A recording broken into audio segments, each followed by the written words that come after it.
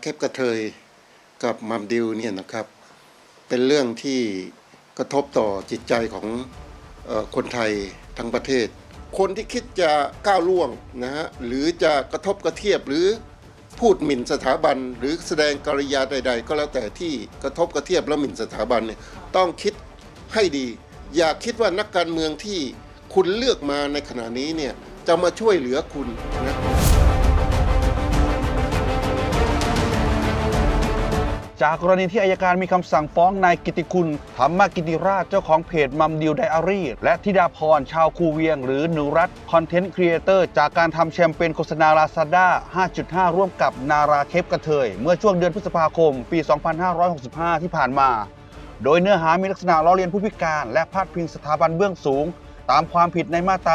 112 โดยในคดีนี้มีนายสุวรรณจันยาเลขาธิการสมาคมองค์การพิทักษ์รัฐธรรมนูญไทย เป็นผู้แจ้งความกล่าวหาไว้ที่บกปอทจนกระทั่งในวันที่ 16 มิถุนายน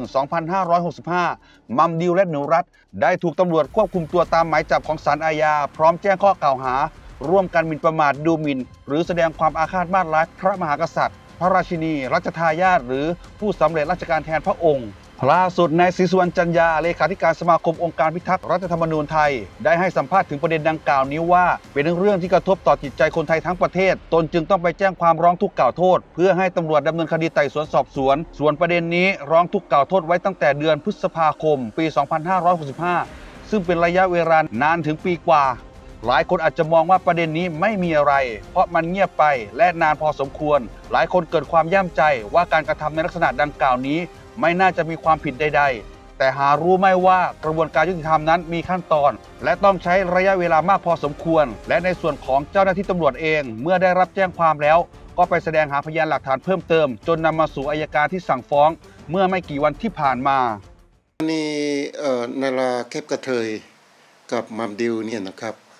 เป็นเรื่องที่กระทบต่อจิตใจของอคนไทยทั้งประเทศ เนื่องจากว่า นาราได้ทำคอนเทนต์นะครับโฆษณาให้กับ Lazada นะครับในลักษณะที่มีพฤติการหรือการกระทำที่คล้ายกับการไปล้อเลียนนะครับ แล้วก็หมิ่นเบื้องสูงโดยเฉพาะฝ่ายหญิงองค์เล็กนะครับ ส่วนมัมเนี่ยแน่นอนฮะการแต่งกายอากับปฏิกิริยาทุกอย่างเนี่ยเป็นการ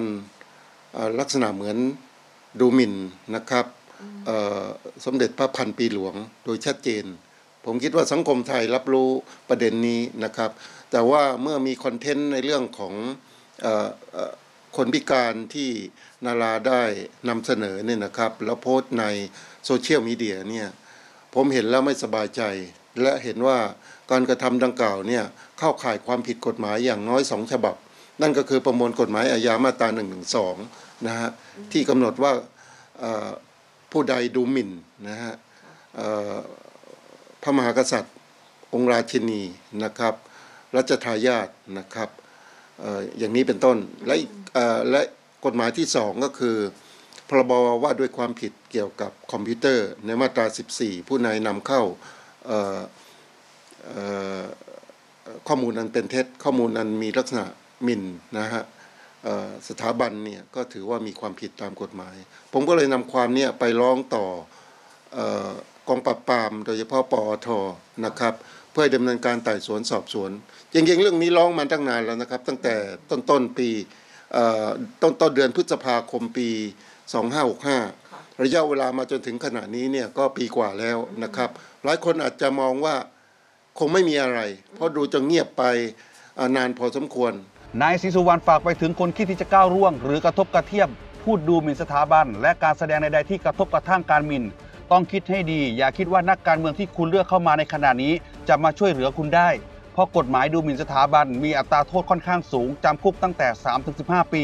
มีโทษปรับสูงด้วยเช่นเดียวกัน หรืออย่าคิดว่านักการเมืองที่คุณเลือกเข้ามาจะเข้ามาแก้ไขกฎหมายในมาตรา112 ซึ่งมันไม่ใช่เรื่องง่าย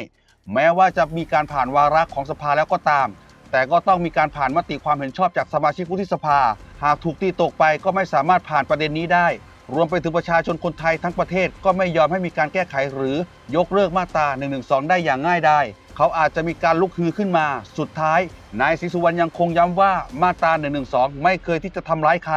มีไว้เพื่อปกป้องสถาบันพระมหากษัตริย์ อันเป็นที่รักของคนไทย หากคุณไม่ไปแตะต้องหรือก้าวร่วง ก็จะไม่มีผลอะไร